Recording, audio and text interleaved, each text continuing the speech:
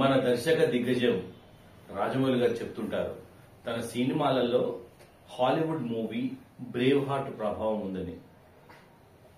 ఇప్పుడు ఛత్రపతిలో కూడా pre interval scene కనుక తీసుకుంటే ఆ బాబును కొట్టి పడేస్తుంటే కాటరాజు సీన్ అప్పుడు సీన్ వచ్చేసి బ్రేవ్ హార్ట్లో ఇంటర్వెల్ సీన్ ఒకటి ఉంటుంది.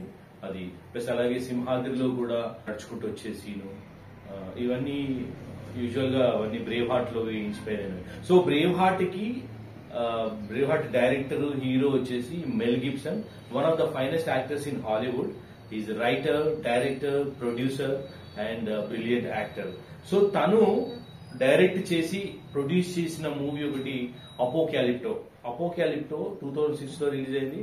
ఒక one of the very unique films in Hollywood ever produce sixteenth century back డ్రాప్తో ఉంటుంది ఈ సినిమా. మొత్తం కంప్లీట్ ఫారెస్ట్లో ఉంటుంది. మొత్తం ట్రైబ్స్ దీని గురించి చెప్పాలంటే ఇది యాక్చువల్ ఒక ఫార్టీ మిలియన్ డాలర్స్ తోని మూవీ తయారైతే బాక్స్ ఆఫీస్ దగ్గర as per the Wikipedia reports box office దగ్గర వన్ ట్వంటీ మిలియన్ డాలర్స్ వసూలు చేసింది వరల్డ్ వైడ్ సో ఇంకా దీని గురించి చెప్పాలంటే స్టోరీలో కనుక వెళ్తే అపోకెలిప్టో రాజయుగం లాంటిదని చెప్పొచ్చు. ఎందుకంటే ఈ సినిమాలో వాళ్ళు వాడిన టెక్నికల్ యాసెట్స్ లైక్ మీరు ఇప్పుడు ఆర్ట్ వర్క్ కూడా ఆయుధాలు అక్కడి ఆయుధాలు తీసుకుంటే రాతియుగం అని చెప్పడానికని వాళ్ళు వాడే కత్తులు కానివ్వండి యాక్సిస్ గుడ్డలు అవన్నీ కూడా రాతితో చేసినవి ఉంటాయి. రాతితో గాని కర్రతో గాని చేసిన ఆయుధాలు ఉంటాయి. అదొకటి. సో ఇంకా స్టోరీలోకి వెళ్తే ఒక కంప్లీట్ అడవి ఎక్కడంటే Amazon south native Americans back డ్రాప్తో అనమాట అప్పుడు సిక్స్టీన్త్ సెంచరీ బ్యాక్ డ్రాప్ తోని uh, ఇంకా స్టోరీలోకి వెళ్తే ఒక ట్రైబల్ లీడర్ uh, కొడుకు హీరో వచ్చేసి ట్రైబల్ లీడర్ కొడుకు జాక్వర్పా సో ఓపెనింగ్లోనే అడవి పంది uh, పంటతో స్టార్ట్ అవుతుంది. ఫుడ్ తీసుకొని వాళ్ళందరూ పంచుకోవడము అంటే వాళ్ళకి దొరికిన మాంసాన్ని తీసుకొని అందరూ పంచుకోవడము తర్వాత వాళ్ళకి ఏదో కలలు పట్టడం ఇంకా కట్ చేసేస్తే ఈ ఇదొక తెగ అనమాట ఇదొక తెగ. అండ్ ఇంకొక తెగ ఏంటంటే కొంచెం వీళ్ళకంటే సుపీరియర్ తెగ అని చెప్పుకోవచ్చు. సుపీరియర్ తెగ వీళ్ళ మీద అటాక్ చేస్తుంది అనమాట సో ఈ అటాక్ చేస్తే సో ఎంతోమందిని వాళ్ళు దారుణంగా అక్కడ చంపేయడాలు మంచిగా సెలెక్ట్ చేసుకున్న వాళ్ళని బందీలుగా తీసుకెళ్ళాలని వాళ్ళ ప్లాన్ సో హీరోకి అర్థమైపోతుంది. ఇంకా తప్పించుకోవడం కుదరదని చెప్పేసి అర్థమవుతుంది. సో అప్పటికి తన వైఫ్ వచ్చేసి ఒక ప్రెగ్నెంట్ సో అలాగే ఒక బాబు కూడా ఉంటాడు వీళ్ళకి. చెప్పించి ఫ్యామిలీ మెంబర్స్ ఎలాగైనా బారిని తప్పించాలని చెప్పేసి వాళ్ళని మెల్లిగా తీసుకొని వెళ్ళి ఒక పెద్ద బావి లాంటి ప్లేస్లో వాళ్ళని దాచిపెడతాడు. దాచిపెట్టి మళ్ళీ వచ్చేసి వీళ్ళను ఎదుర్కొందామని వచ్చి ఆ ప్రాసెస్లో తను కూడా బందీగా దొరకడం. సో తనతో పాటుగా కొంతమంది వాళ్ళ ట్రైబ్స్ వాళ్ళని వాళ్ళు విలన్ గ్యాంగ్ తీసుకెళ్తుంది. ఆ తీసుకెళ్ళే ప్రాసెస్లో కూడా వాటర్ నుండి జర్నీ చేయడము నీళ్ళలో నుండి అందులో మళ్ళీ దారిలో కూడా కొంతమంది చనిపోవడము చాలా దారుణంగా ఉంటుంది ఆ విలన్స్ వాళ్ళ ట్రీట్మెంట్ సో ఈ ప్రాసెస్లో అంతా జర్నీ చేసి అక్కడికి వెళ్ళిన తర్వాత ఒక రాజ్యం లాంటి ప్లేస్లోకి వెళ్తారు. అక్కడ ఒక రాజు వాళ్ళకి ఇంకొక టీము అది ఉంటుంది ఒక సో అక్కడ ఏంటంటే లేడీస్ అందరినీ తీసుకెళ్ళి ఒక స్లేవ్స్ లాగా మార్చడం స్లేవ్స్ కేటగిరీలో లేడీస్ని చేయడము జెంట్స్ని తీసుకొని ఒక ఒక పెద్ద ఒక పిరమిడ్ లాంటి ప్లేస్లోకి అక్కడికి తీసుకెళ్ళి రాజు లాంటి వ్యక్తి కూర్చొని ఉంటాడు అక్కడ. ఆయనకి ఒక వాళ్ళ యువరాజు లాంటి కూడా షాడిస్టిక్ అన్ని షాడిస్టిక్ షాడిస్టిక్ నేచర్ని చూపించేటట్టుగానే ఉంటుంది.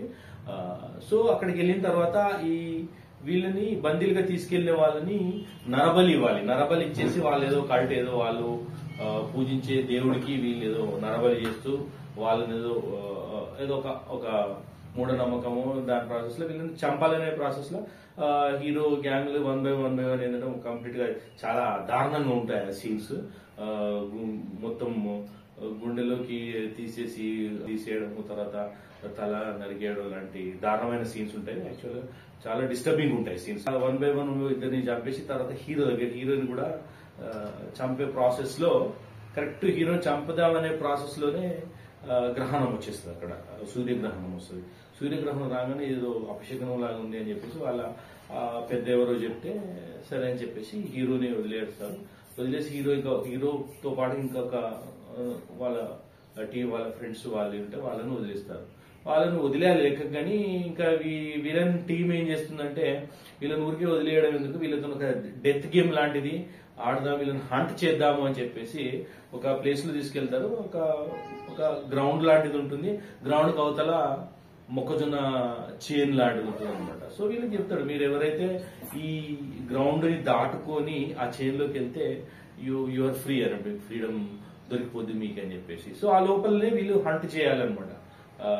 సో ఇట్స్ డెత్ గేమ్ బేసిక్గా సో మెల్లిగా వాళ్ళు హీరో వాళ్ళ మెంబర్స్ వన్ బై వన్ వెళ్తా ఉన్నట్టుంటే తప్పించుకునే ప్రాసెస్లో విలన్స్ వాళ్ళని చంపడం అన్ని అన్ని చాలా బ్రూతల్గా ఉంటాయి కిల్లింగ్స్ అన్ని.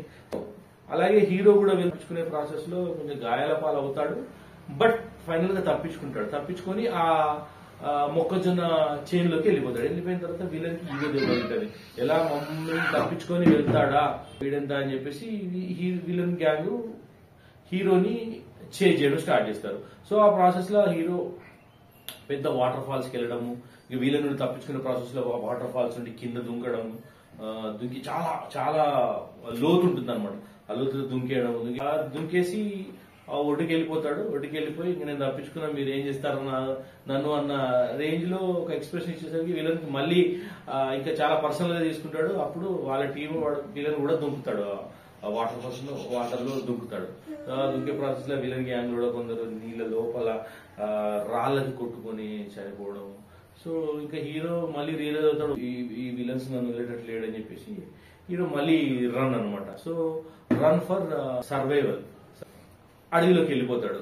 ఆ అడవి తనకు బాగా తెలిసిన అడవి. ఎక్కడ ఏముంటుంది ఎక్కడ ఏముంటాయి ఎక్కడ ఏం చేయొచ్చు. సో అన్ని బాగా తెలిసిన అడవి. సో అడవిలోకి హీరోని మళ్ళీ చేంజ్ చేయడానికి విలన్ గ్యాంగ్ కూడా వస్తారు. వస్తే అప్పుడు హీరో రన్ చేసి రన్ చేసి రన్ చేసి ఒక టైంలో రియల్ అవుతాడు.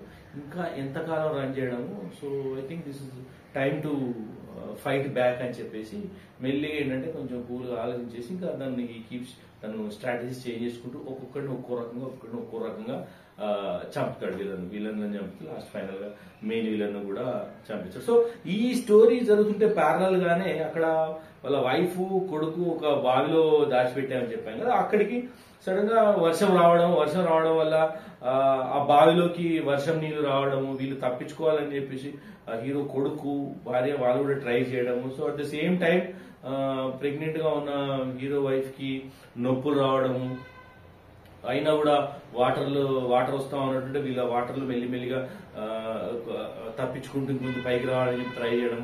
ఆమె వాటర్లో ఉండగానే తనకి ఇక నొప్పులు ఆ, వచ్చేసి తనకు అలాగే వాటర్లోనే బాబుకి డెలివరీ ఇస్తుంది. డెలివరీ ఇచ్చేసి సేమ్ బాబు మునిగిపోకుండా ఇలా తీసుకొచ్చి వాటర్లో పక్క ఇట్లా ఏదో ఒకటి పట్టుకొని ఒక కర్ర లాంటిది పట్టుకొని వాటర్లో తల పైకెట్టి బాబుని కూడా ఇలా పైకెట్టేసి వాళ్ళ కొడుకుని కూడా ఇట్లా ఇట్లా ఉంటారనమాట సో అది ప్యారల్ నడుస్తుంది. ఇక్కడ ప్యారల్ ఇక్కడ విలన్స్ గ్యాంగ్ తోని ఫైటింగ్ చేసేసి అందరినీ చంపేసి మళ్ళీ అక్కడికి వెళ్ళిపోయి హీరో వాళ్ళ భార్యని కొడుకుతో ఉన్న కొడుకు వాళ్ళందరినీ తీసుకొని వస్తాడు.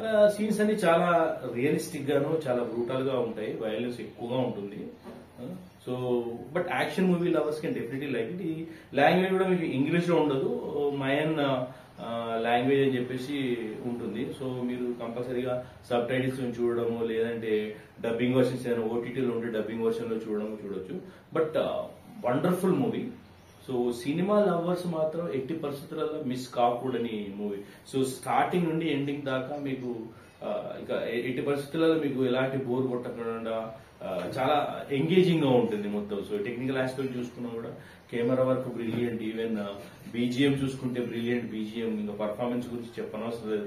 యాక్టర్స్ ఏంటంటే వాళ్ళందరూ న్యాచురల్గా ఉండాలని చెప్పేసి ఆ నేటివ్ అమెరికన్స్ మెక్సికన్ అటు వాళ్ళనే పెట్టారు. ఈ వారం Apocalypto so enjoy the movie will meet once again with another Hollywood movie Stay tuned guys.